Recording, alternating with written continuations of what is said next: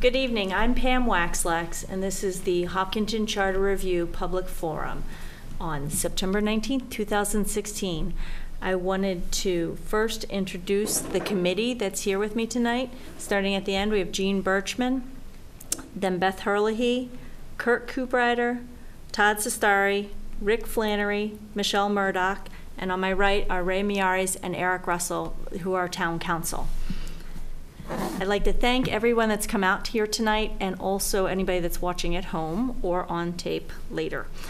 The committee's put in many hours already reviewing the current charter, researching benchmark towns in Massachusetts, which also serve, also have charters, and interviewing department heads and boards and both elected and appointed boards and committees in town.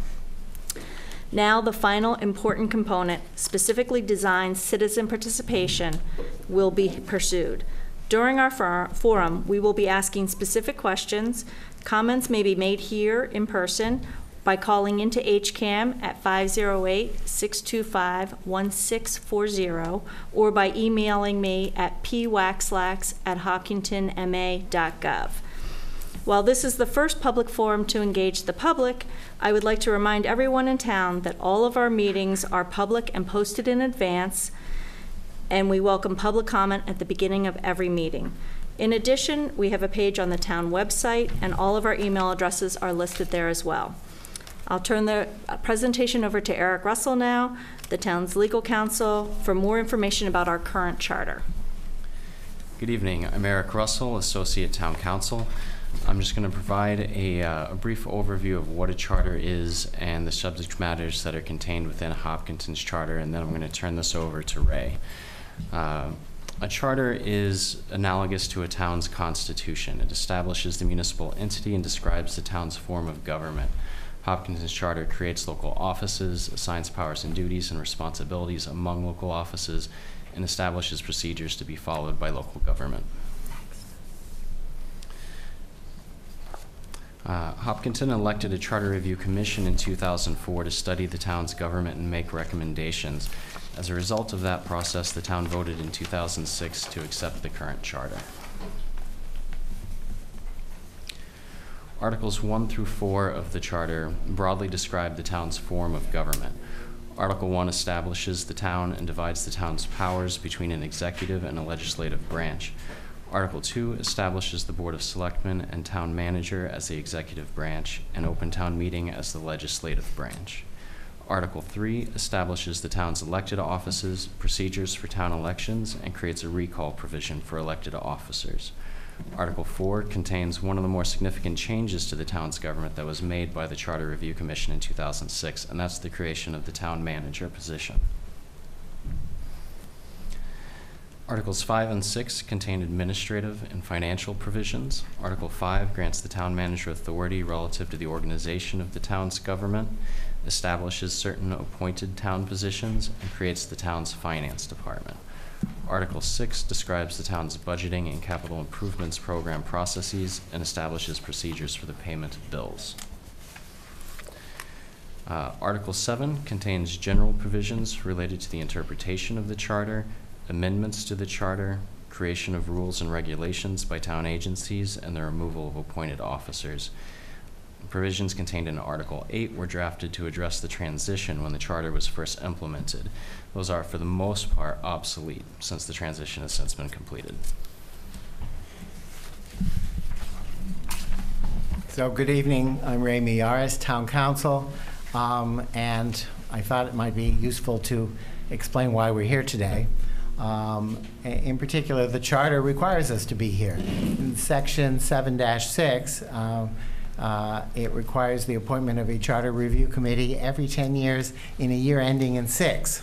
So here we are in a year ending in six, and shortly after the beginning of the new year, um, the Charter Review Committee was ap- appointed um, um, by the Appropriation Committee, by the Town Clerk, by the Board of Selectmen, by the uh, School Committee, um, and they began their work reviewing the existing charter uh, and posing some questions. Um, We are now starting a new phase by uh, more actively engaging the public over the next few months. Um, And uh, if you go to the next slide.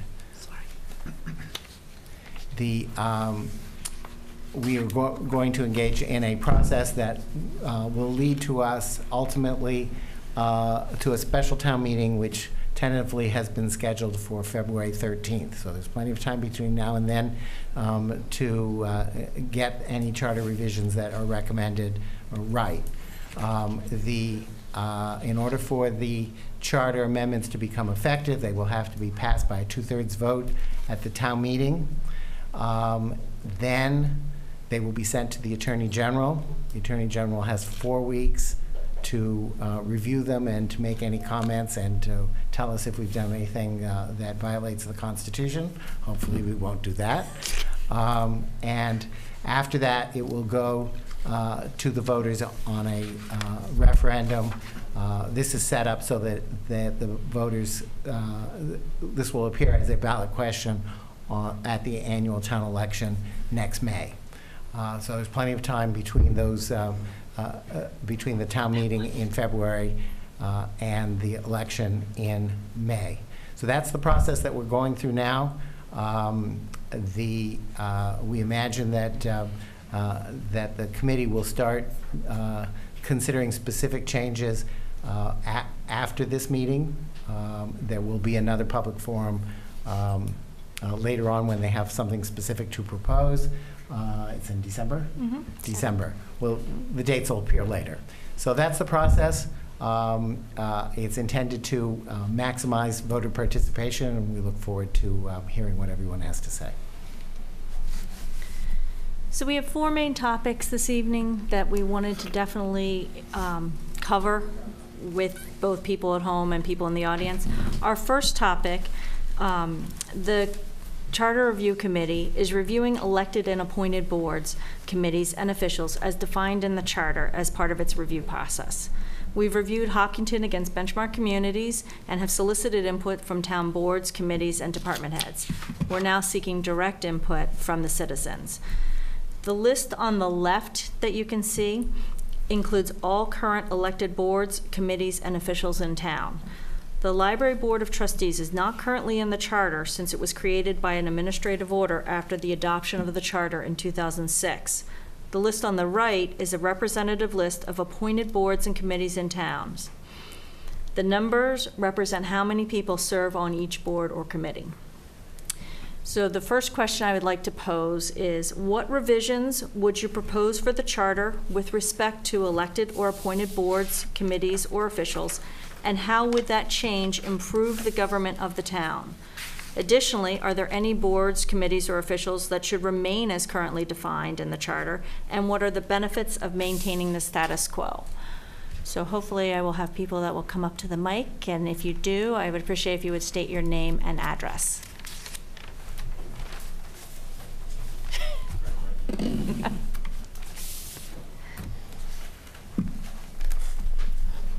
Hello, Frank Durso, 173 Saddle Hill Road. Thank you for uh, stepping up and doing this, people.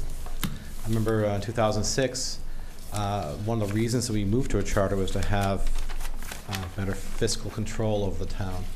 And uh, I understand that you want certain questions in regard to these elected officials, um, but I want to answer it in the context of, of that. How do we make our town run better? And uh, how do we have a town manager interact with elected officials and the appointed boards?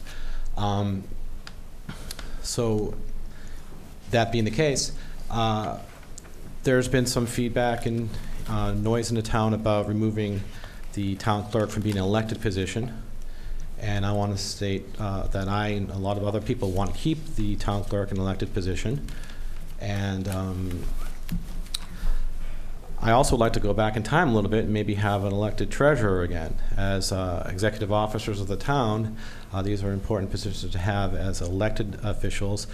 And um, as the town manager reports to the Board of Selectmen, it's important to have uh, individual elected officers of the town be able to uh, stand up and state freely what they think about certain topics that pertain to managing the town. We need that open and transparent uh, discussions to happen and be able to happen. Um, So right now, we're looking at the elected officials and boards. Um, I would like to ask the committee if there's been any thought to expanding the Board of Selectmen to seven and the school committee to seven. At this point, just to answer quickly, we have not done any deliberations. All we have done has been to take input from everybody else. So uh, we have not heard that mentioned, but, um, we have. but now we have. And thank you. Well, thank you for listening. Thanks for doing this, and I'll be back for some other topics. And um, again, I just want to restate, I'm for an elected town clerk and maybe expanding Board of Selectmen and school committee. Thank you. Thank you. Hi, Darlene Hayes, One Third Road, and I'm very pro um, as many elected positions as we can. Uh, Again, I'm going to speak on behalf of the town clerk. Um, I don't know what's wrong, I know that there's been a lot of rumbling, um, but I know this past annual town meeting, we voted to actually keep an elected town clerk, and that there's been a lot of discussion in boards and stuff like that discussing, well, it should be appointed. But didn't what we did at annual town meeting matter, and that, you know, what the will of the people was, is to actually keep it as an elected position. Thank you. Do we have any emails? Can you alt that? Okay. Go ahead. Sandy Altamira, Elm Street. I'm going to um, speak to this just briefly. I think that the more positions you take out of the public forum, the more you allow them to be appointed by one individual, the less input the town has, uh, the more committed those people are to the person that appoints them, not the entire town. I think it's a, I think it's a, a big mistake to make more and more things appointed. Um, I think there's a, an awful lot of people that feel like that. So I, I just don't see the point of it. I also think that the more things you take away from uh, the public's voting right, the less people are going to go to the polls. There's not going to be the, the impetus for people to, to try and to fight and to define their, their feelings on how they stand on things and, and have debates about it, and that's what gives the town life. If everything's just, just being appointed by the town hall, people are going to back away. They're not going to care. I think it's a mistake to, to take anything um, away from the voting public. Thank you. Thank you. Hi, Christie, 44 Alexander Road. Um, I just want to point out that um, this um, appointed board um, list here, I realize that it's a subset of a, a larger list that's part of the, our current charter. And so if you, and this list has, uh, um, you know, appointees by the Board of Selectmen and the town manager.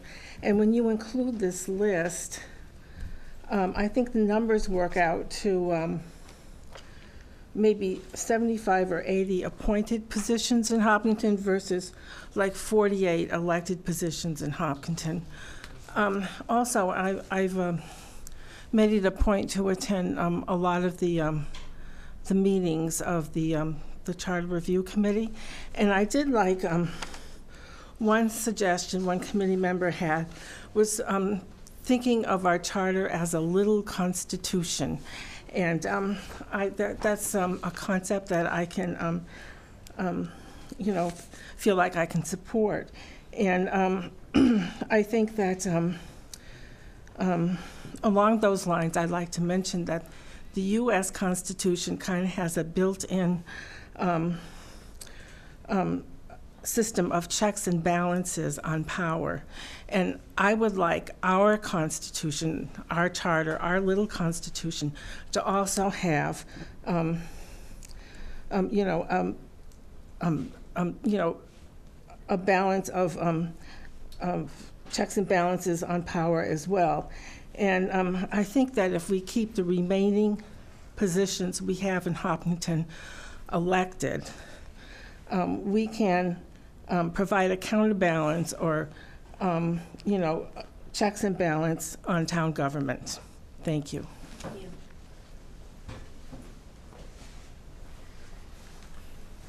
Hi, I'm Tom Smith from Walcott Street. Uh, First, I want to start with a little saying that came from a very notoriously famous person. What good fortune for those in power that people do not think. I want to assure you that people in this town are thinking about this. This is a New England tradition people want to be elected, they want to be part of government, and it's important that they stay that way. To take any of these away, I think, is doing an injustice to the people in the town. I'm totally against consolidation of power to the top, and this is what it appears to be happening. And I don't want to see it happen to Hopkinton. I'd like it to st- stay a good New England town with New England traditions, and to take this away, uh, the town is going to lose on that. Thank you. Just to be clear, we're not saying anything should be taken away or added right now. We're just trying to get everybody's input. Right. My name is Ken Dietz. I'm at 44 Alexander Road, and I tend to agree with most of the speakers that have come up so far in that I think as um, that checks and balances are important, and I think there has to be the elected uh, government to run the town, but at the same time, there has to be inputs that are meaningful from outside of that that can influence how the town is run. Now, I've lived in here for 27 years, and I've seen it change from uh, an annual town meeting where everything was on the board, line by line, and it seemed to work quite well. Now we're down to the point where we have either voted for it or don't vote for it. A one one shot deal, which I entirely disagree since it it goes away from the whole idea of town meeting. Um, I could do it on a ballot. Um, as far as appointed positions go, I think that we already have a bureaucracy that's grown enormously since the last since the charter was created. I think if you look at town hall now, there is a significant increase in the number of personnel doing individual jobs that one person did before. And, and it seems like the town hasn't grown that much to justify this expansive bureaucracy. So I think if you make more and more positions appointed, you're going to end up with a bigger bureaucracy that has no purpose. Um, so anyway, thank you. Thank you.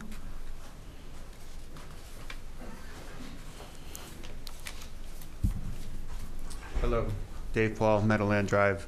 Um, I don't really have a request, just a comment about the um, three historic commissions. Um, I'm a little ignorant, I don't really know the purpose of the different, three different ones and how they relate to each other, but maybe perhaps as you guys dive into this, I can learn more. I can, I, I, I believe that the Woodville is specifically for that area of Woodville, and the Historic District Commission is specifically for the area around the common. The Historical Commission takes, encompasses the entire town. So each have different reasons for being. Thank you. Is that- Is that correct? Close enough. Hi, Ken Weismantel, 145 Ash Street. I'm going to first start off by pointing out what I think you're missing one of the committees on either, either of the two columns. And that's either a DPW or a DPW advisory committee. There was an awful lot more transparency when either of those two committees were, were running. And our roads, our sewer, our water, our critical pieces of our infrastructure and critical parts of our town. And quite frankly, I think they would be better done at public meetings as opposed to just being done however they're done. Uh, I'm going to take a little contrary view on some of these elected positions. As chairman of the Republican Town Committee, I have to go recruit candidates for all the elected offices. That's part of what, what we do with the uh, partisan election in town. And some of those are harder than not to find candidates for because most people don't care whether they're really elected or not. And I'll start with at the bottom of the list, the constable. I don't think government would get changed one bit if the constable was appointed by, say, the Board of Selectmen. Would, would, there wouldn't be one change, and, and whether we had an elected one or not really doesn't matter. I'll start uh, going up the list a little bit more. Commissioners of the Trust Fund. Kind of a technical thing. They're looking after some of the money that's been given to the town. Do we need to elect that person? If we don't elect the treasurer, maybe we don't need to elect the commissioners of the trust fund, and maybe they'd be appointed by the Board of Selectmen. Not, I don't think we lose too terribly much. Uh, going up the list again, cemetery commissioner. Good people, Hopkinton elected me cemetery commissioner once. I was running on a ballot, or actually, I wasn't running on a ballot. I did a sticker campaign because nobody else wanted the job that year. And it was a great job. Uh, Most, most fun elected position I've had in town. I mean, you can tell all sorts of great jokes. You do run the cemetery, except for all the workers work for the DPW board. So you, you're setting a little bit of policy. It's a one meeting a month type job, lots of fun. Uh, but does it need to be elected, or could it be appointed by the Board of Selectmen? And then the last one is the Hopkinton Housing Authority. It definitely needs as a committee, but I don't know whether it necessarily needs to be elected. We might find better folks that know a little bit about building maintenance and et cetera if we appointed people with a role of trying to get some more people that had different skill sets on that as opposed to going uh, to the ballot box. Sometimes with the ballot box, we might pick the, a good person, and it's certainly a person that volunteered and is willing to put their name in front of the town, which all are good things, but maybe that's not the skill set you need on a whole board. And when you appoint different folks on different boards, uh, you know, it, it might be better. Uh, then there's this, uh, I guess another one that's not on the list that I, I notice is a uh, uh, CPC committee. And, uh, you know, that's basically appointed par- in part by the selectmen and, and parts are representative of a bunch of uh, committees on, on, in town. And, you know, for completeness, I think that ought to be included on, on the list. Anyway, that's my input as a citizen, and thank you very much. Thank Ken? you. Yes, Rick. Question for you. Yes. Um, y- y- What percentage of the offices that are elected do you find have contested uh, races? There's usually two or three, maybe four on- if it was a big year, but that's about it. So, you know, the, the elected uh, portion, let's see, what did we have contested last year? I'm trying to I think remember. seven or eight, right? We had, we had a bunch because there was, but it wasn't that, that was, last year was an exceptional year. Usually it's very few.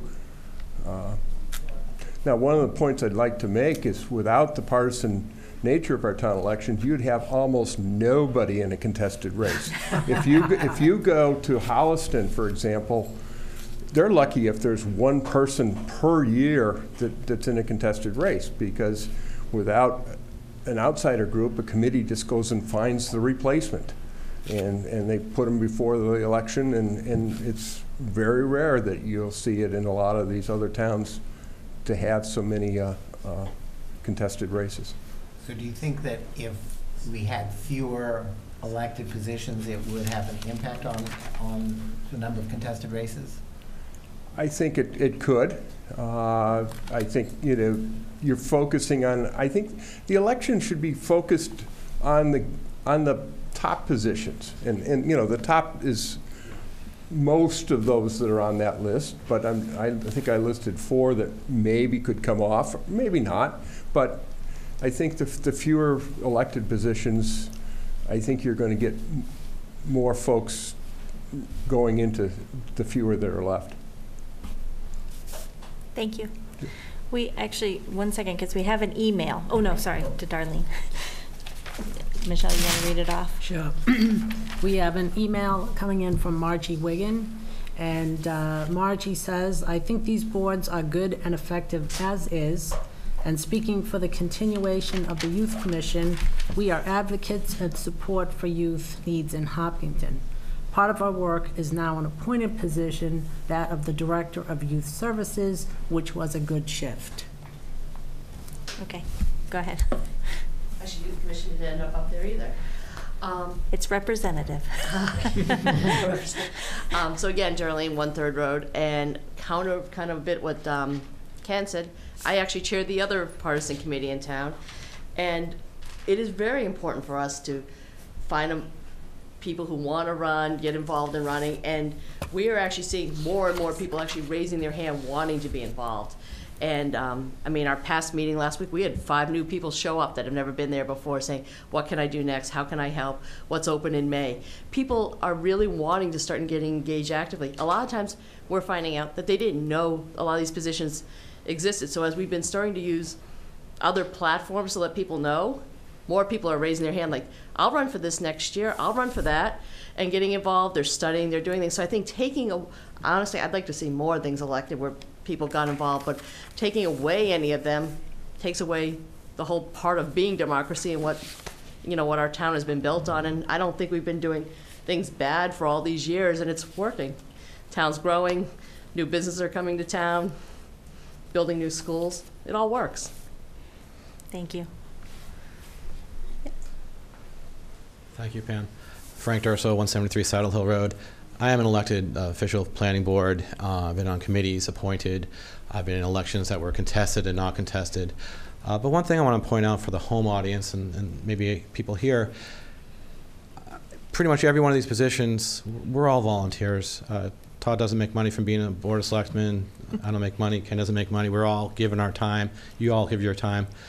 Uh, each of these boards has a pretty much a professional that they can work with. So no matter what the skill set that's needed, uh, be it for the board of selectmen, uh, they have the town manager, uh, they have town counsel, they have the town director of so and so and stuff. Planning board, uh, we have a town planner, uh, town clerk has an assistant clerk, um, housing authority, um, board of assessors, board of health. They all have analogs that are professionals that work for the town or with the town. Uh, I don't see uh, needing a specific skill set to be uh, a reason to take away electing people who want to volunteer for the town, much as you all are volunteering for the town. Um, so I just want to let's not overlook that we are all volunteers except for town clerk, but. So. Thank you. Mike Manning, 32 Briarcliff Drive. For the most part, I'd like to keep the balance as it is. And uh, one reason I do like to live in Hopkinton is the participation, the community participation in government and, and what we do, and, and we're active.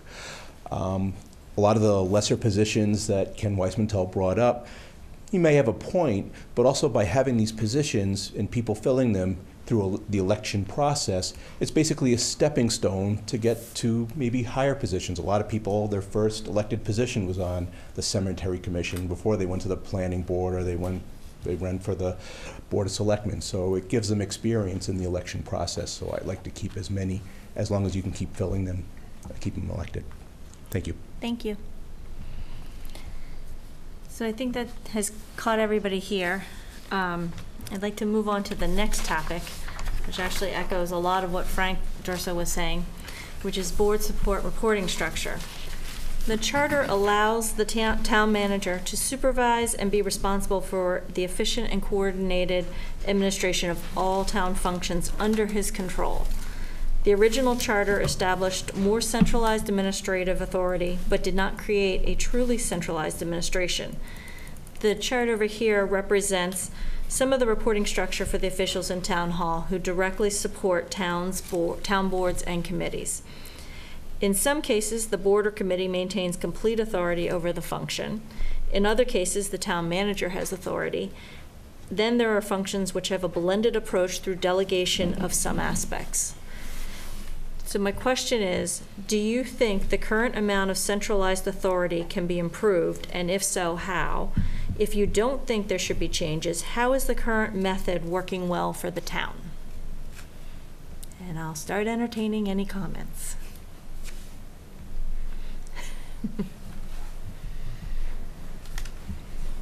Frank Durso, 173 Saddle Hill Road.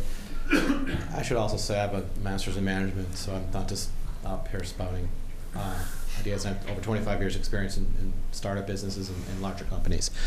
Um, structure can be very important, and in our instance, in our town, I think that it's very important for each of our boards to be able to hire the professionals that we work with in the town. Uh, the Board of Selectmen hires the town manager. Uh, they, they hire the police chief, they hire the fire chief. Um, The planning board hires a town planner, which is in, the it- which is in the charter, but we haven't really had an opportunity to, to follow that. Uh, But part of Elaine's, Lazarus, Director of Land Use and Planning, Assistant Town Manager, whatever that is, part of her salary is under the planning board. Uh, She hires a, a department of people that work for her, and they work with us. We also hire scientists to work with us. The Conservation Commission has a administrator that works with them uh, as an employee of the town. Um, and they also hire scientists uh, to work with them to evaluate what we're looking at. It could be soil samples, it could be um, hydration, it could be all sorts of things that are very scientific that we need someone to evaluate. Um, I think we do a really good job of hiring individuals to work for the town and with the boards. I want to see the boards retain control over who they hire. And um, ultimately, at, at the end of the day, it's the, especially the elected boards, it's their responsibility to be able to hire someone to get the work that they need to do get done. Thank you. Frank? Yes. So, so in that model, um, the authority is in uh, boards that mostly meet at night, Mhm. and they're being asked to supervise employees who mostly work during the day. Mhm. Um, uh, How would you, how would you suggest that that supervision function should, should work? I'll use the Conservation Commission as an example. I served on that for three years. Uh, Don um, McAdams, excellent employee for the town. Uh, As a member of the commission, I would see him twice a month. Uh, And we also had a a recording secretary uh, that was an employee of the um, Land Use Department. And uh, as a board, I thought we should have maybe more oversight on uh, him as an employee. He's because he would do really well by us, and he continues to do an excellent job for the town. Um, I'm not saying. I'm trying to say this the right way. I think that if Don were to leave and the next conservation administrator were to be hired, I'm sure that the conservation administration com- commissioners would have a lot of say on that process. But at the end of the day, the conservation administrator should work and be hired directly by the conservation commission and work as an employee of the land use planning department, which is how it, how it is now, I'm pretty sure. So as far as oversight of an employee works during the day, part of that is uh, the, the town hall stays open on Tuesdays late. Uh, so all the employees are working late. Uh, a lot of employees come to meetings uh, at night, um, no matter what their role. Uh, the police chiefs and fire chiefs come to planning board meetings. Their interactions with town boards are very important, on, I think, on how well they do their jobs. And um, part of reviewing how town employees work, if you're a board member who hires them or you're board member who works with them, is something called 360 degree, uh, 360 degree review process, where you talk to the people who work for and with the workers. And I would like to include, you know, maybe the town manager position in that, but I understand it's not in his contract where he can't have that happen. Um, but one of the one of the values of 360 degree review process is that you take all the people that work in town hall and you take all the people that they interact with and you get feedback loop and you get feedback from people above them and below them. You get people from the committees they work with. You get community uh, people that maybe have dealings with the town clerk. They say oh the town clerk helped me out greatly and got my marriage certificate and blah blah blah. And all the feedback uh, should be managed and maintained by the HR director and the town manager as part of their process of managing the employees. But as far as each commission and committee and board, they should have final and oversight of who gets hired that way. I don't, I don't mean to separate the idea of central control, but we really need to bring a, a little bit more of a decentralized view and a flexible view on what we're talking about, the changes that we're hearing that might be made. So oversight of employees who work during the day by committees who are volunteers working at, you know, meet, see them only at night. Uh, I think the boards, uh, I know Ken does a lot of work uh, with our pe- people at Town Hall during the day. Uh, They have a lot of insight into how they do their jobs and what they need to do their jobs. So I don't see that as being a problem. So can I sum up and say that you would concur with the appointment by the specific board, but then when you move over to the supervision and evaluation, it becomes more centralized within town hall itself, since they are, they're there day to day? Yes, but central supervision, but if, uh, if a, say the town manager is not happy with the conservation commissioner, what's he, what's he gonna do? Well, would he go, would he talk to that, talk to the conservation commission, or would he take steps to make changes? I would like to see the con, each board have control over who they hire. Um, and I'd like to see the town manager manage more uh, the employees, but uh, not the process. Uh, if there's process to uh, improve, it's it's budgeting, and that's a separate issue than employee. If that makes That's sense. number three. That's question number three. You keep jumping on me. Tom Smith, Walcott Street. I think I have more of a question. Is it the intent of, uh, you are asking public input on what to change or if we need to change it. Mhm. We don't know, the public doesn't know what problems you've run into up there, so we don't know why you're even asking for this at this point. And I don't think we can make an informed decision until we know what problems the town has run into with this particular structure. My personal thought is, I do not want to see power consolidated under one person. First off, the town manager couldn't take care of all those boards. He'd have to hire an assistant to the assistant to the assistant. So we're probably looking at another three hundred, three hundred and fifty thousand dollars in salaries. So, um, I think the public needs to know more of what problems you have with this and why this isn't working. You just can't say, you know, what's your input, what do you think? I don't know what to think, because I don't know what problems you have, so. Mhm. And I think the public should be aware of that, and somehow you've got to make it known to them. I, I think basically what we came up with is that there are, as this shows, a lot of different ways people within town hall, which are the functions on the left, have reporting structures. Mm-hmm. Some are, you know, if you take a look at the Parks and Rec director, he is, he is appointed by, supervised by, evaluated by the Parks and Rec Commission but his staff is actually appointed by the town manager, supervised by the town manager, and, and uh, evaluated by the town manager. Well, or somebody he dele, I believe he delegates that to the Parks and Rec director. But when you look at the principal assessor, that position is appointed by the town manager. Any town manager, I should just point out, any town, town manager appointment is also approved by the Board of Selectmen.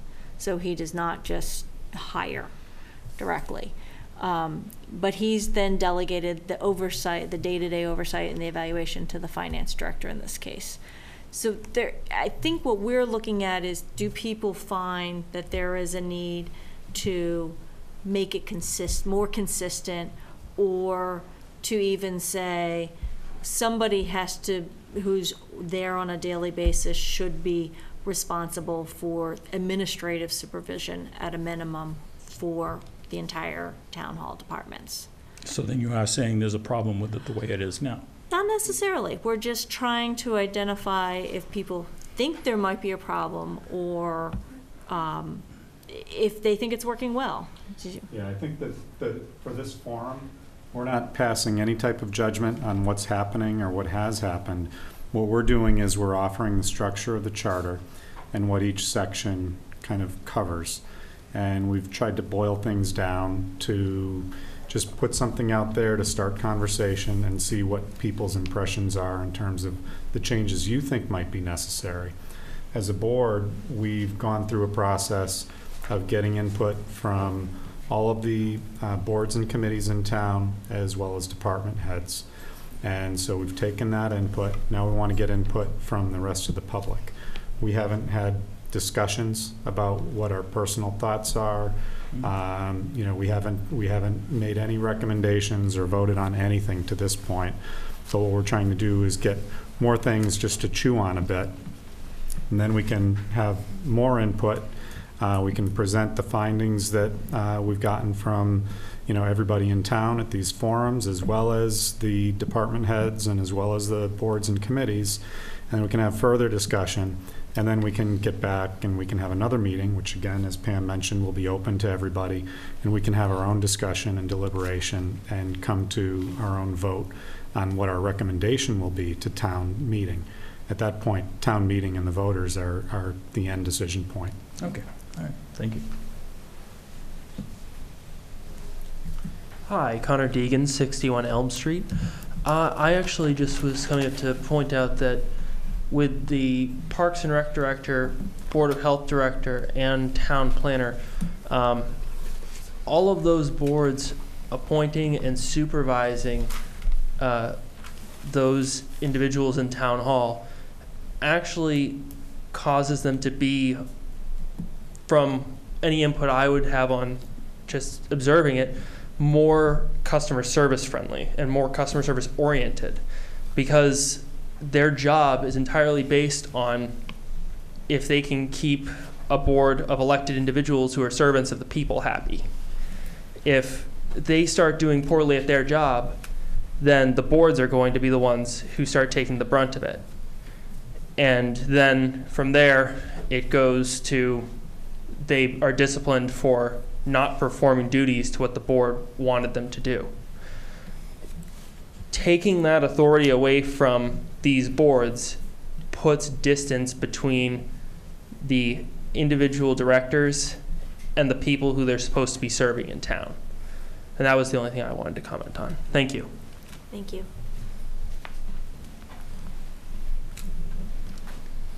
I was told I have to move this down now when I talk. Uh, Darlene Hayes, One Third Road. I'm actually like one of those employees. I, I'm a contractor that gets hired out, and often for what I do, I report to committees, and at times I'll meet with the executive director of a nonprofit, but I'm brought in to turnkey galas for, you know, 150, 250,000 dollars plus, and I report to a volunteer committee currently of about 30 volunteers that are from all over the state, and it makes me hell of accountable than just reporting to the one person that may have been the person that linked me to the committee. But you do, you, you feel this responsibility to all these individuals that are volunteering, coming in. And part of my contract includes, just as probably the Parks and Recs director or those guys, I have to be at, you know, board meetings, I have to show up at gala committee meetings, I have to have a weekly conference call. So I know that my job isn't nine to five. And I know theirs isn't too. They're, they're out in the field, they're doing that. And so it does make you feel you're part of a community too, where as soon as I come into a facility and start working, I've got a whole committee that's around me saying, okay, I'm doing this role, I'm doing that, and it really builds you up a lot. That's about it. Thank you.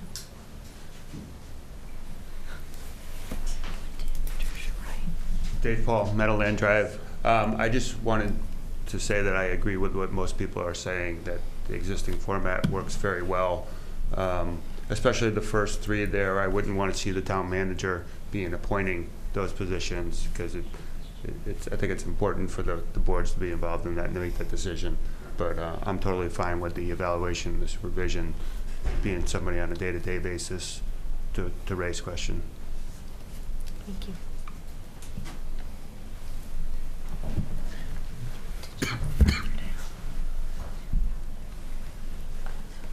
Ken Weismantel, 145 Ash Street.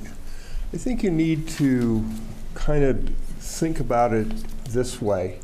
There's administrative duties, such as making sure salaries are paid. When I was water sewer commissioner back in the 90s, we had to sign a warrant to put it so that uh, the treasurer would pay that person the next week. So we had to meet you know, quite quite regularly, every couple of weeks or whatever.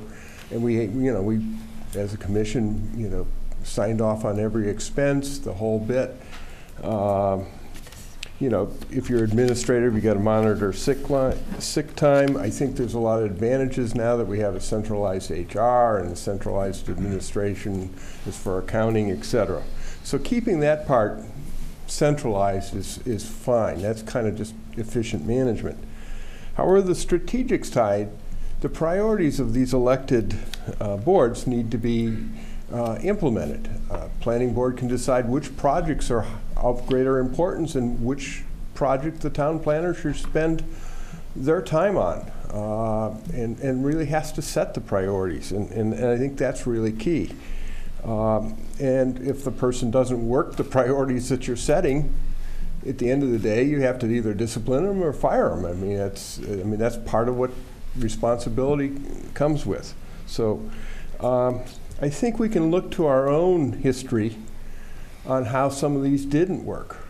We went back and forth on DPW. Was it going to be elected board? Was it not going to be elected board? And then we found that, well, DPW director was hired by the town manager, and the DPW board, elected one at the time, felt that they couldn't control what was going on at the DPW, so they said, why should we be a figurehead here when we can't even do it?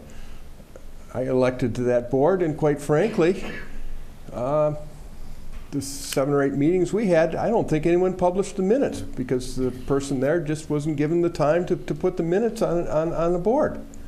Uh, you know, I know I never approved minutes, clearly in violation of, of, of uh, open meeting law. I hear nothing. Yeah. I mean, but it was basically the person that attended and took all the notes never, never had, was given the time to write up the minute.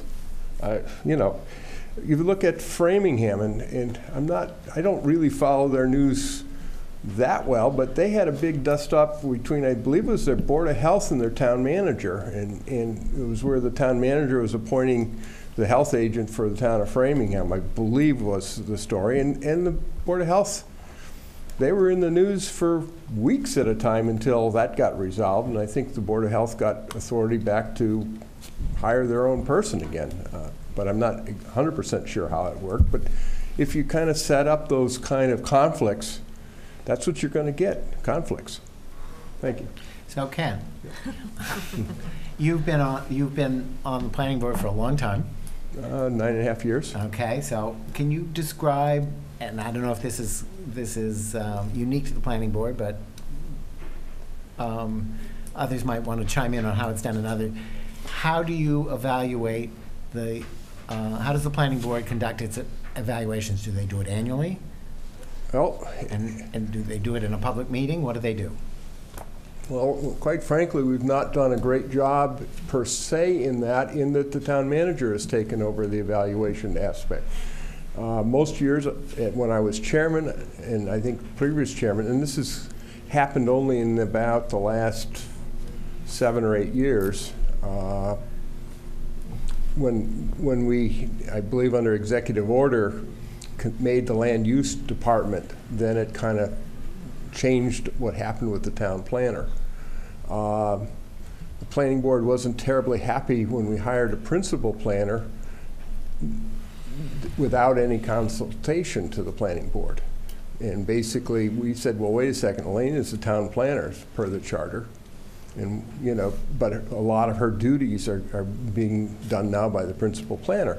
And very shortly, we're, we, the planning board, will probably vote to fire Elaine as, as the town planner. That's not to fire her as land use director. I know, he's gonna be careful with that comment. And, and, and probably hire, uh, you know, the, our current uh, uh, principal planner and make her the town planner because she is doing uh, 98% of the town planner work at this particular time. So we kind of viewed this as a, uh, well, you get, you get some trial, uh, trial in the job, uh, you know, maybe it's the best way to evaluate it instead of looking at, you know, a whole pile of resumes. We basically, if we're happy with the, what the job that she's doing, then we'll vote eventually to, to make the change. But currently, technically, the town planner is Elaine. Okay, but specifically, the question I was trying to focus on is how the evaluation happens.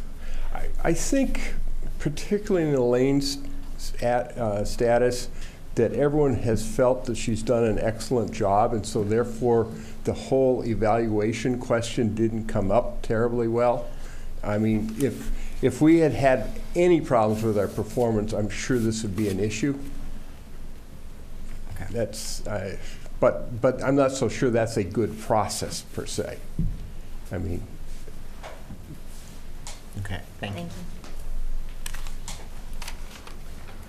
Okay, I'm seeing no more comments, no emails. Next slide. Next slide, please. The budget process. So the town currently has a budget process that involves department heads, the school committee, the town manager, capital improvements committee, the board of selectmen, and appropriation committee. The finance director sees the budget through from the beginning to annual town meeting. Per the charter, Mass General Law, and town bylaws, all of them currently state that the appropriation committee should present the budget at annual town meeting. Ultimately, the Board of Selectmen has authority over the proposed annual town meeting budget, with recommendations from the Capital Improvements Committee and the Appropriation Committee. So my question is, do you think the current process of creating the budget can be improved, and if so, how? If you don't think there should be changes, how is the current method working well for the town? This could encompass both the, how it's getting there in the first place, or getting the final product to the floor as well.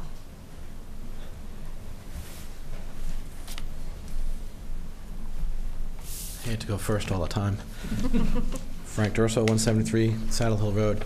I put a lot of thought into this. Um, I spoke to a lot of people. In some ways, and again, I think the primary, my point of view is the primary reason we went to a charter commission so we can have a strong manager manage our our budget. And um, before, Ted Kluzak was an excellent administrator for our town, uh, didn't have authority to hold uh, budget lines in place. Um, so we started the charter. We have the charter. We have town managers. Uh, now we have um, this question come up: What are we going to do for the next 10 years? How does it work? Um, I would like to see the return to town meeting of um, the budget line by line. Uh, I think that we tuck too many things into the budget and it just throws things under the skirt of the table and it's not very transparent. Not everyone has time to sit down, go to every meeting. Um, I've been on a school committee for Keefe Tech, so I understand how tough budgeting can be. Uh, but our school department budget is the largest part of our budget. And um, I would like to see the town manager be able to work with the school committee, the finance director work with the school committee to um, find ways to implement things within budgets so that we're not always having increases of the sizes that we're having. I think last year's increase in salary was over a million dollars.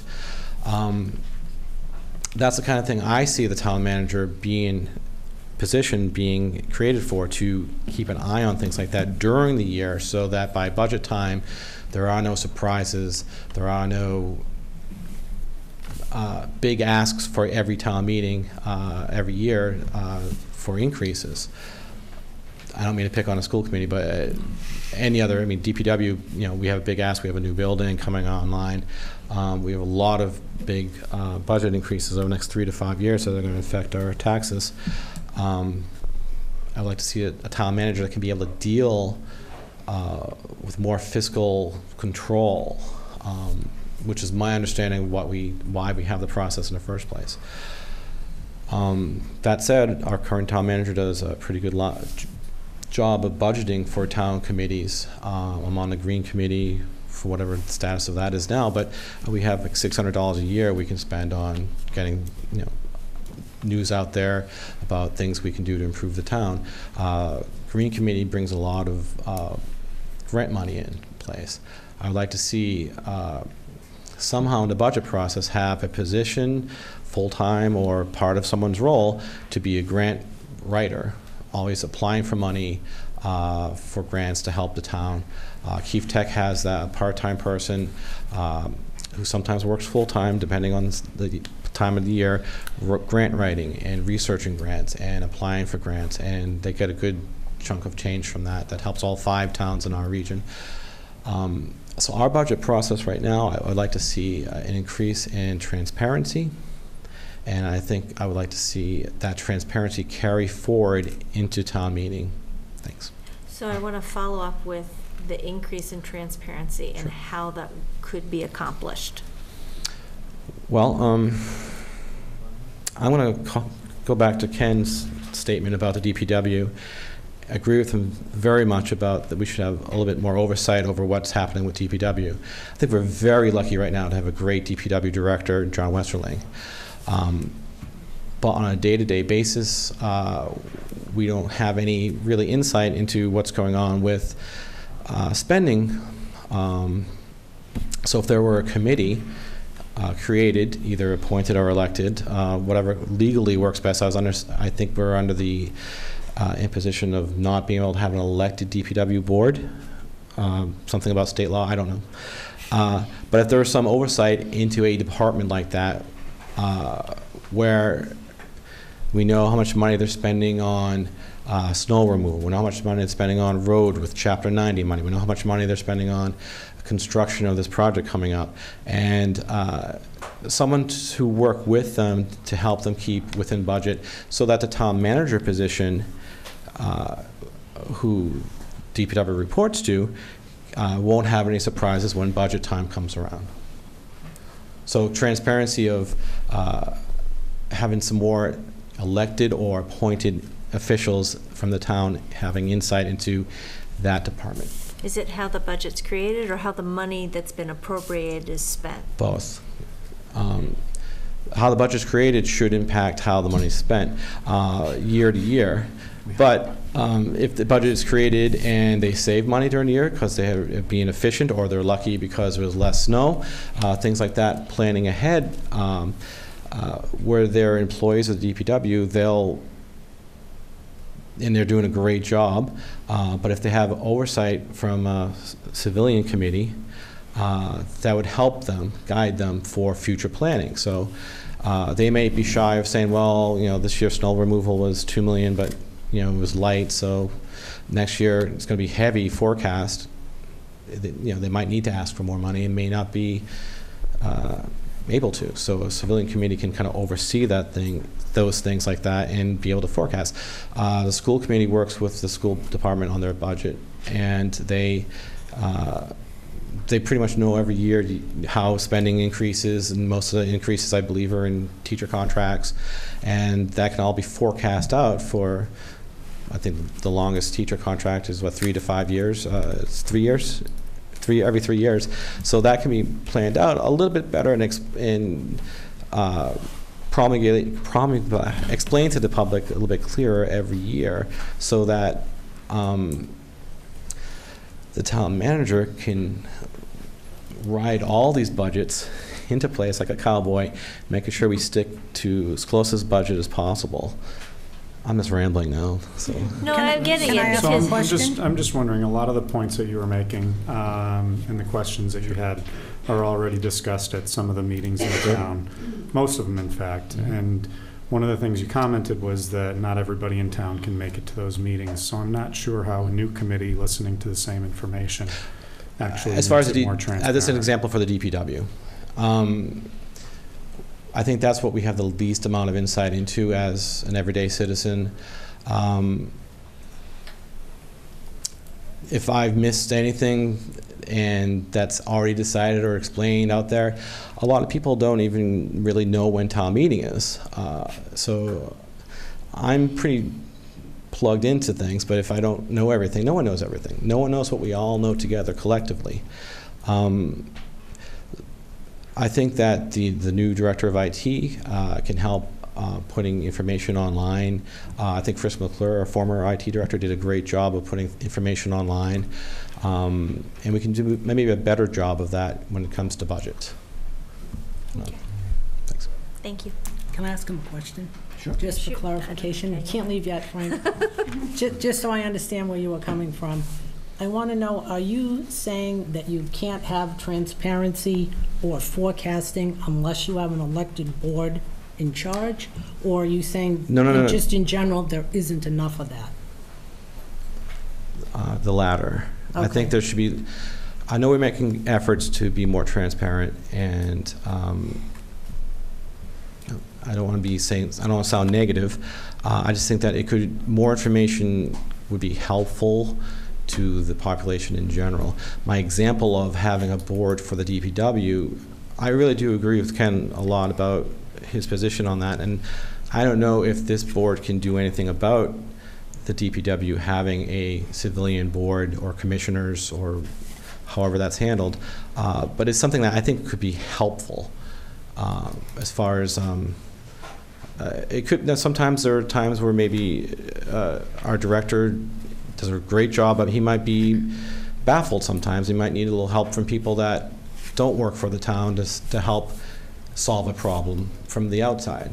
Um, sometimes, if there if there's too much control on top, the uh, people underneath uh, don't have the ability or freedom to move outside of their structure to get the help they might need. And um, where John doesn't have a structure in place to help the DPW, uh, I see that as maybe being a useful thing. If, if there's anything that Ken might want to suggest, or I'd, I'd support, you know, almost anything to help the town move forward. Thank you. I think we're going to hear from the other Ken, though, first. No, no, go ahead. No, you, you can. Well, if it's continuation of what Frank's talking about, it makes sense to continue. Ken Weismantel, 145 Ash Street. Uh, As far as the budget process, the key number one thing that needs to be changed is that the budget needs to be available to the citizens as a minimum of a one week before town meeting. There's always an old rule that no government done after, in the wee hours of the morning, let's put it that way, as opposed to saying a particular time, but maybe 11 o'clock might be the right time, uh, is, is no good. There's another one I'd add to that is no uh, appropriations committee recommendation made at 6 o'clock on the evening of the town meeting is going to be any good either, because all the paperwork is all already distributed to everyone else. So the key is to get things done and that's really, I'm going to say primarily discipline, but maybe you write it into the charter that, you know, obviously on town meeting floor, there's going to be changes because the citizens that go aren't just a rubber stamp necessarily, and they'll have their own ideas. Uh, The second thing on the budget process, I liked when we voted on the major groups like public safety as opposed to looking at one number for everything, you know. The school, obviously, you're voting a bottom line uh, only, but you, you can focus the discussion on a smaller piece. And yes, it's four or five votes, but I think you're going to get me- more meaningful participation by the people at town meeting. Uh, I always like to look at a table that showed the percent of increase over last year's budget. I could just skin down that thing, and if it was a reasonable percentage, I realized as somebody that maybe didn't care about that particular issue, they're probably not out of control. They're doing kind of, we're, we're going to get what's expected or what we did last year, and, and, and we're all set. A couple of presentations lately have not shown that kind of detail that, and it's kind of up there, you know, with uh, spreadsheets. People out in the audience don't need to be able to do that stuff. And the last thing on budgets is while I, as a citizen out in front or at town meeting, might want to look at the percentage increase and say, yeah, everything's okay, a grounds-up budget is being, needs to be done, I'm going to say at least every couple of years, as, and looking at all the pieces, because things change and maybe the history and just giving everyone the standard increase over the last year might not be the right thing to do. I'm not saying that you need to do every department every year that way, but you need to focus on some of them. And I, I think all of us have run either committees or budgets and work, and, and you kind of, you, you probably do it, the practices, and I'm, I'm sure a lot of the committees do do, I'll say, a grounds-up budget where they look at each piece. But uh, it's not the old days when the appropriations committee, you know, would have long hearings and, you know, I'd go have to justify every line item and uh, for uh, the water and sewer department, uh, you know, it's a little bit easier these days, I think, for the committees, but it's also perhaps not as rigorous a process. Or maybe Norman in the finance group does it all internally and, and they're really doing it and you know, because most of the budgets are, are fairly good, but there's also, with the budgeting process now, where you can shift money from labor into expenses, town committee lost, or town meeting lost all sorts of control that we used to have. I mean, right now, this seems to be the norm. We just don't hire somebody for four or five months, and all of a sudden, there's a pot of money to buy a truck.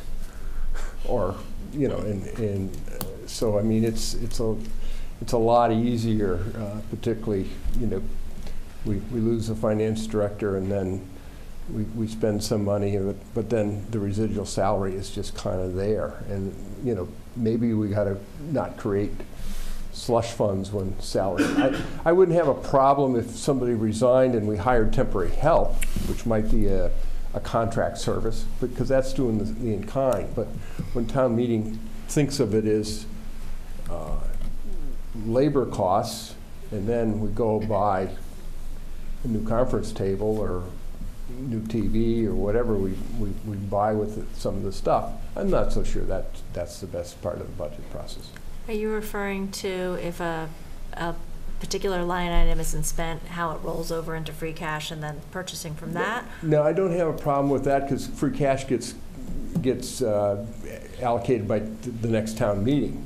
If it goes on there. When I have a, a, a department man- manager now can transfer within his department between expenses and, and, and salary. So, if- Okay. so if somebody quits, I build up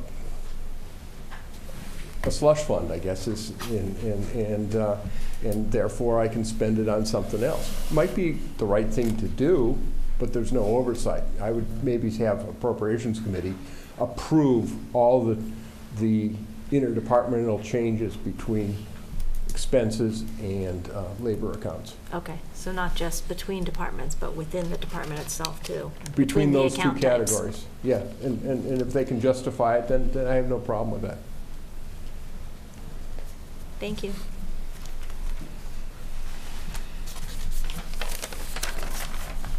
Uh, Ken Dietz, 44 Alexander Road. Um, I agree with what, a lot of what Ken had to say, but budgets and budgets and town meeting, to me, have been a bugaboo for years. One of the reasons is, is that there doesn't seem to be a proper reconciling of a budget before a town meeting. Um, You end up with voting on something, well, we think it's this and we think it's that. I don't think, if you don't know enough about it, you shouldn't be there. Um, Secondly, there's no reconciliation of a budget. Well, for example, we voted hundred thousand dollars to pick up, pick up the, uh, fix up the parking lot at Bill's, assuming that Bill's transferred it to us. But what happened to that money since nothing happened?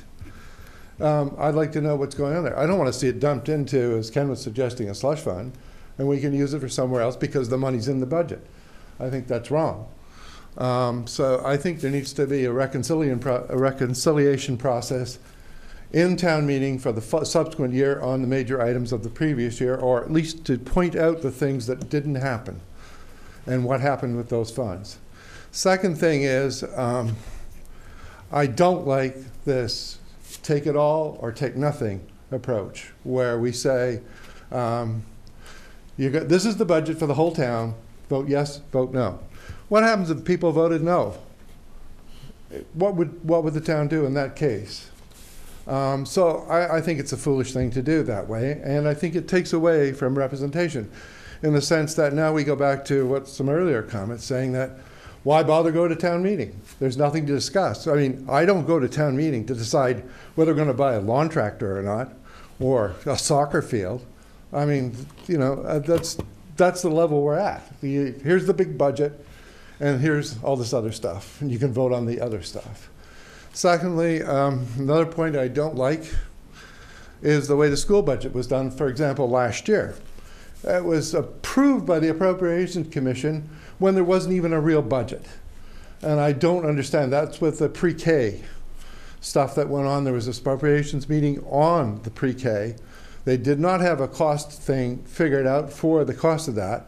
And it was all sort of money was moved around, and then the Appropriations Committee approved it. I, I disagree with that kind of management, but particularly because of the size of the funds involved. I mean, there's large sums of money, and we're treating it like it's uh, spending, you know, play money. I don't agree with that. So to sum up, I want to see it go back to a major grouping, but a line by line kind of thing, where we talk about the individual large sums of money, where we can question one but leave the others alone. I, I just don't like this. Now, as far as budgets go, I agree with Ken, and I think it's, there should be a deadline saying this must be done by this date or you're not on. Um, you know, it's, it's, it's inappropriate to come into a, a town meeting and ask for a sum of money, and you can't even identify the amount of money that, that you want. You just say, well, I think it's going to cost about this. Well, that's no good. That's not the way you manage money. Um, a classic example was uh, when they wanted to put in a drain at Colella's at that time. The DPW or some organization came up and said we wanted to do this, and when they gave a lump sum of money, but when they were asked, well, define that lump sum of money. How did we get there? Well, it turned out they didn't have a clue. Colella's, the, the owner of Colella's, actually came up with a plan and said, here are the numbers. And that, that was really embarrassing, I thought. So I need, I want to see more discipline built into the process, not just a good faith approach. I want to see a process that's outlined that says certain things will happen. And I think the finance, um, I think there's a finance head under Norman now. Finance director, yes. Yeah, well, I think Norman and the finance director need to take the responsibility to put that put budget together. In other words, collect all of the individual items and publish them in advance so that we know what we're voting on. But I'm tired of voting for lawnmowers. So I do, I, I just want to answer a couple of points. Yeah. One, uh, with regards to the school committee budget. Mhm. The school committee budget is uh, set, is put forth by the school committee, and the town has no purview over how it can be spent within that budget. And I believe with the full-day kindergarten year, we did come up, with the appropriation committee did work with the school committee to come up with an amount, and at that time, it was determined that even if we took that amount out of the budget, they were still moving forward, so other cuts would have been made, because that was the initiative to be made. That's not something that either the town or the appropriate, eh, that it's the school committee's responsibility to approve the budget based on what they've got, and the town approves, uh, and that's just mass general law. So what you're saying is that the committee, school committee can ask for a certain sum of money, and how they deal with it is up to them, and we don't have any say in that. Per mass general law, yes. Okay, that's, that's, that's very interesting, considering how big the school budget is in relative to the total town budget. Uh, I think there's a problem there, especially if you're going in front of the appropriate, why go in front of the appropriations committee if you haven't got your, your paper in order? You know, your numbers in order? Why is, there was a whole lot of things at that discussion that I went to. Um, so I, I don't know, I'm just a little annoyed with this whole budget process and money moving here and there and large sums of money here and large sums of money there, and it's not really going through anywhere. It's just, there's no, there's no checks and balances on what's happening. Mhm. It just sort of, well, here, just sign off here. Anyway, thank you.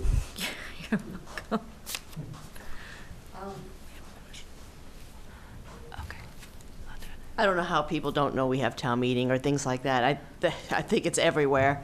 People have chosen not to come or not chosen not to be involved. For the most part, with the whole budget process, I just want if you ask a question on a line item, that they can justify where they got that number from. So like this year, and it seems like a petty number, but it was ten thousand dollars to put eighteen inches of fence around the Claflin Fountain, which isn't there, by the way, but we gave them the money. Um, and I asked um, a gentleman who's no longer on Parks and Recs, why did you ask for ten thousand dollars? I mean, I could fence in probably the entire yard. And he goes, well, we asked for the max because we don't know how much we need and that, be- and stuff. I'm like, well, haven't you gone out for bid? Don't you have justification for the number? He goes, no. We asked for the most we can get and then we'll use what we need. Is that really the, how the process works? Without saying, here, here's the bids I got and this is why I need seven thousand two hundred dollars to put eighteen inches of, you know, wrought iron around a fountain. So correct me if I'm wrong, Ray, but I believe you have to appropriate the money before you can put it out to bid if it's a municipal contract. Is that correct? Sometimes, sometimes not. But I do know on the, the second part of the answer, the reason they ask the most is because the only way to get that money is through a town meeting, is the only way to appropriate that money. So if they ask for five thousand and it costs seven, they can't do anything until they get the additional two. So if they ask for ten thousand and it costs seven, what happens to the other three? It goes into free cash. Right. Without- It it gets rolled over at But the end of before the they year. even so- ask though, could, I mean, they Could could pick up they- a phone and say, hey, reliable fence, how much does it cost to put, you know, ten by ten of eighteen inch fence around a fountain? And know a number instead of like it's ten thousand dollars. When, I mean, I think everyone, everywhere even watching knows it wasn't, it won't ever cost ten thousand dollars to put ten feet by ten feet around. We, we hope not. We, we hope not. I mean, because we also allocated fifty thousand dollars to put a net to, you know, to catch lacrosse balls. but you know, and I asked the same question that, well, where'd you get the, you know, who's, why does it cost this much? How's it? And only because I've been in a lot in athletic facilities and things like that. I'm like, where the heck did you are you getting pricing on this stuff? And he goes, no, we just ask for the most we can that we think town meeting will approve. And somehow that has to change, where there's got to be some justification of a line item. And that, that's where I'm coming from with it. Mhm. I will point out one thing before you, that as a, uh, as a municipality, we have to follow different cost pattern. We have, if we're building something, there are different labor rates that we have to use. So while a private company could do something much cheaper, because we're a municipality, we have, we likely have to pay more. I, I can get that, but at the same time, knowing what, fence. you know, making that one phone call, calling that labor company and the guy who's gonna sell the fence, and the person who's gonna install it, and getting some sort of estimate of what reality is, Mm-hmm. instead of just saying, we're gonna ask for the most that we think we can get approved. And to know that that happened on two items this year, it, you know, and it, it wasn't huge amounts of money long-term, but it was something where it's like, that was the answer. It's like, we have to ask for the most, and then we'll use what we get, and the town gets to keep the rest. But what do we do with it? It just floats. It doesn't have a line item accountability then, it just becomes slush. Well, it, it becomes a end-of-year closeout balance that the following year can be certified and used to pay for our excess snow and ice re- removal. Which had no, uh, but that had nothing to do with why the money was approved in the first Right. place. No, you're right. And so, I mean, the- I want more happens with the accountability when they put some line item up. Okay. Did you have something, Ray? That's right. Okay. Do Uh, we we, wanna read? um, we have one email that we'll get to, so what did you, Okay, um, we have an email from Brian Herr, and his question is, has the charter committee considered establishing debt service ratio targets to keep capital spending in line? we have not, because we haven't deliberated, but now we will put that on to a potential topic.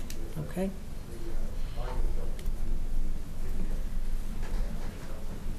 Frank Durso, 173 Saddle Hill Road. Uh, Just one point about the uh, transparency about the school budget. Yes, they decide the budget that they're going to put forward, um, but the transparency is that we should be able to see. I think this year was pretty good. The, um, They presented all the information, uh, but we we should be able to vote for the school budget separately from the town operating budget. And when it's all tucked in together, it can be very uh, frustrating for people because they might want to talk about why is this this way why is that that way. Even if they cannot change uh, what the school budget is as it's presented, the school committee should be able to stand up and get feedback. It's at town meeting, we're talking about millions of dollars, 60 million, seven, is it? No. no, No, just that's the entire town budget. Uh, but it, we were just a couple of years ago. We were you know 60 as a town. Um, so no school district has the ability to raise taxes, uh, but they're putting the, the numbers out there and um, asking. And I think a lot of people, and I'm here to ask, that I don't know if it's part of the charter process, part of the budget process, uh, part of the board selectmen's purview or the town manager's purview, but to, to have the town operating budget be clearly defined and in sections where people could debate and talk about the process and give feedback on the process that uh, right now we just don't have. Thank you.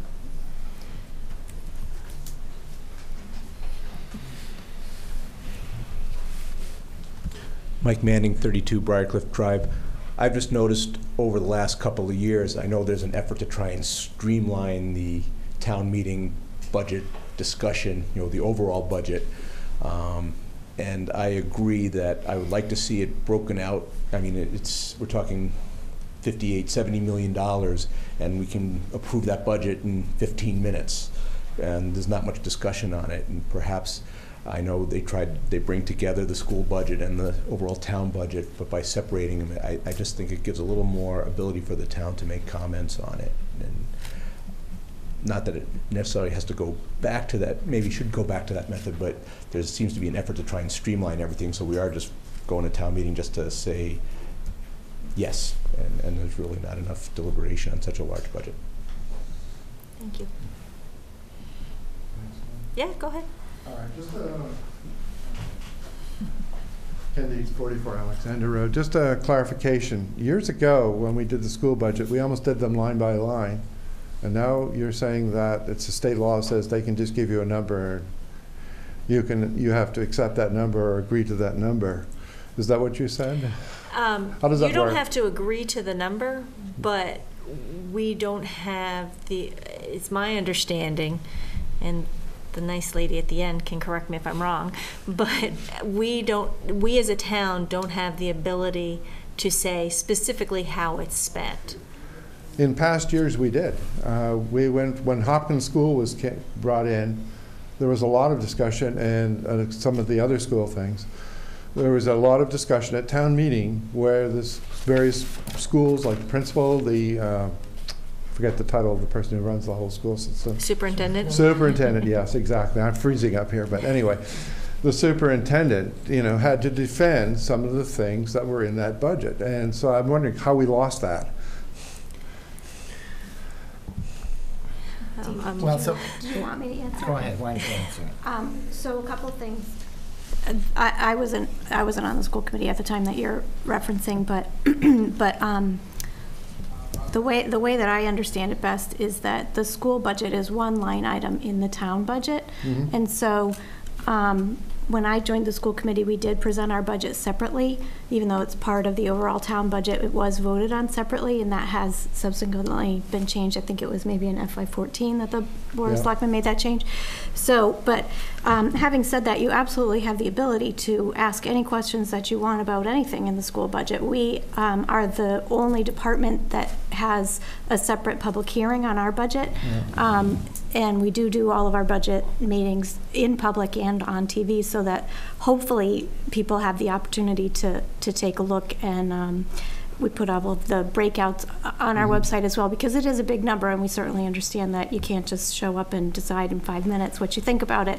So going back to what you're saying, I mean, absolutely, people can ask any of those questions. I think, um, the, the point that I'm hearing up here is because we are one line item Yeah. in the town budget, we have the ability as a school committee within our line item to, we have discretion over how that money is spent. Mm-hmm. So it is true that if somebody objects to a particular $50,000 item and they reduce the school budget, if they effectively advocate to reduce the school budget on town meeting floor by $50,000, that they can do, but they couldn't necessarily make the school committee take out the $50,000 particular item that they didn't Yeah, like. no, understood, yeah. So, so that's the difference. I mean, that said, that's why you elect the school committee, right? So that's how you, Well- you know, ultimately decide, that's how they, uh, they're evaluated essentially by the town. No, I like the school committee to make intelligent decisions about how to run the school, certainly. But when it comes down to, I think this is more valuable than this, or that's more valuable than that, then I think that's a town meeting decision Yep. as to how money that we have, because we only have a finite amount of money, how it should be proportioned out, Yeah. okay? The other thing I, I just want to add, um, in addition, is that's part, that's, that's the other reason, that's why we have a strategic plan, that we Mhm. got a lot of community input in before we, as we developed it and, and when we voted on it. So all of our budgeting is driven by what's in our strategic plan, so that's available as well, and you'll see every, every initiative is tied to something in our strategic plan, and, and the, the school administration is Mhm. expected to defend that to us and, and to any of you at, um, at any time in the process. So It is, I mean, absolutely, we all recognize it's, you know, it's 53, 54% of the town budget. It's a lot of money, and it's not something that we take lightly, but it is, there is, it is governed differently under the Mass General laws. Okay. So just to reiterate, I'd like to see a much tighter, stricter budgeting process, uh, informing the people either on a website. I mean, it's up to me to go dig it out if it's on the website, sure, or come down to town hall to pick up a copy.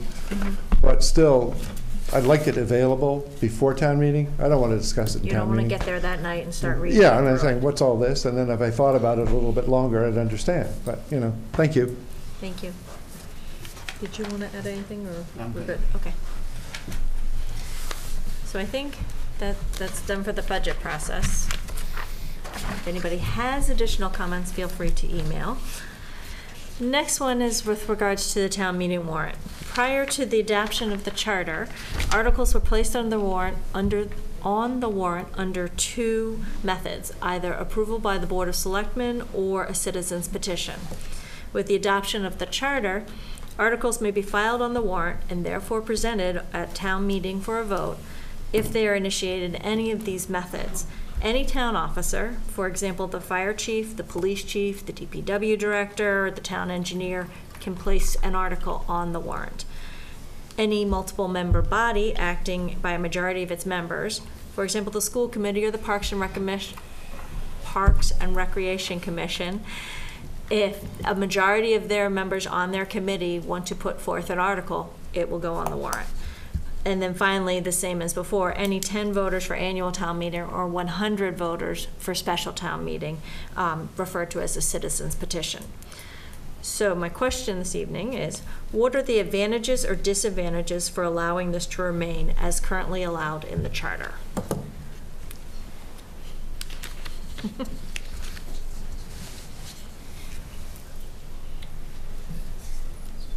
Ken Weismantel 145 Ash Street. The current process works.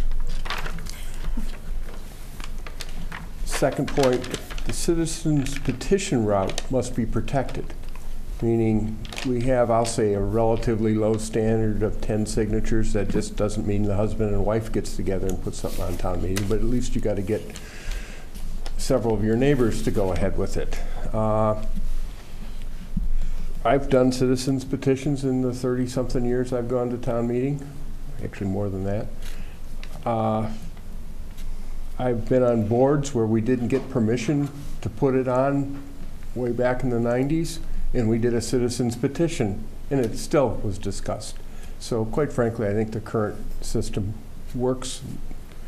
Uh, If you have any town officer, particularly those that are appointed by the town manager, and he's not happy with the fact that that one got on, he can worry about that through his supervision and discipline area if, if that's, if people think that that's being uh, abused. But I don't think it's abused.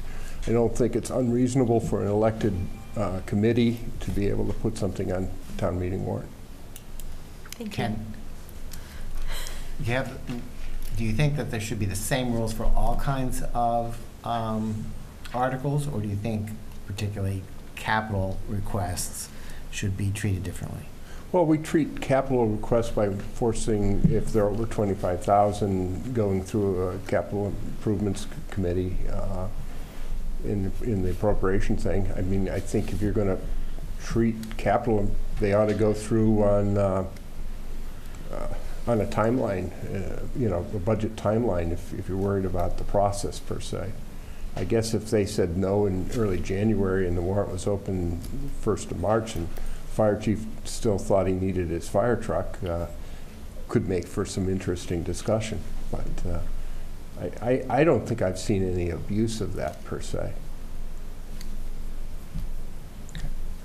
Thank you. I'm here again. Uh, Darlene Hayes, One Third Road. I might get struck by lightning, but um, I'm totally the same as Ken. It works. um, it works. It allows the people to have a voice. I mean, from even small associations like LMPA to be able to have a voice at town meeting and things like that. It works. I know some of the rumble's been heard is that maybe the selectmen would have final say on what would go on the warrant to be able to, you know, in the future maybe if the charter change, be able to veto, you know, a citizen's petition or an association's petition. But it works, and again, like Ken said, I've never seen it abused. It's, it's actually gotten people at town meeting and getting input on things that have become aware. I mean, I may live at Sandy Beach, but how many people knew about weeds until that town meeting? It works. Ray, Right. excuse me, I have a question. Should we point out that citizens petitions, changing those is not in our purview? That's not up for grabs, mm-hmm. right? That's right. Right. So that is something that will never go away.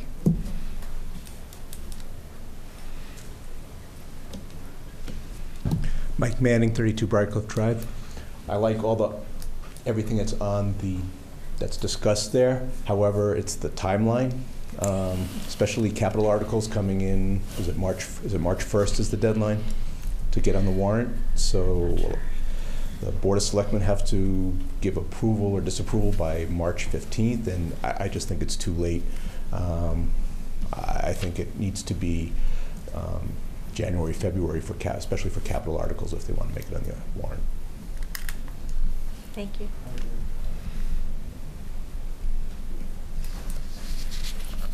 Okay. No emails? I'll do one, I'll check. Nope. Nope.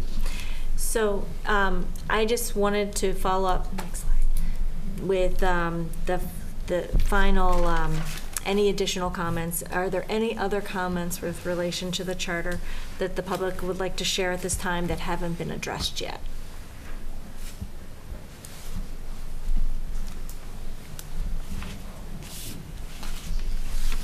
I actually just wanted to address that. I know that there's been um, discussion of possibly removing the recall section from the charter or looking into it.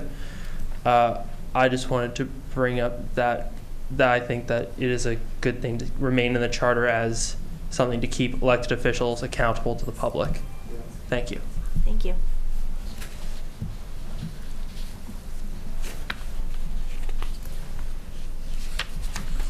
Frank Durso, 173 Saddle Hill Road. I concur with our town clerk's statement. Um, If the recall process is taken away from the people, and then it, it's held in the town manager and board of selectmen's hands, uh, I don't think that that's exactly the way democracy should work. I think the uh, election process uh, is straightforward, and the recall process is equally as straightforward as it stands. Thank you. So seeing no more comments, I'll go to our final slide, which is the charter review timeline. Um, I want to thank everybody for the participation tonight. Uh, We've made good progress to date, and our next few months will be spent evaluating the results of the input received and determining the changes to propose to the existing charter.